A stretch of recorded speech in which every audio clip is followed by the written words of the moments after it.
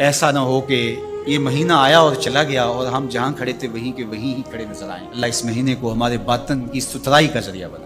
ये तोबा का महीना है, मवासात का महीना है, हमदर्दी का महीना है। अल्लाह से कुर्बत का ज़रिया है। इस महीने की हर रात बख्शिश बरसती है, हर दिन में नूर बरसता है। इसके रोज़े गुनाहों का कुफारा है। इसका एक एक लम्हा अल्लाह की रहमतों के हसूल का जामिन है। तो आइए मैं और आप इस माह मुबारक में अल्लाह के हजूर सच्ची तोबा करके उसकी खास रहमतों से माला माल हों।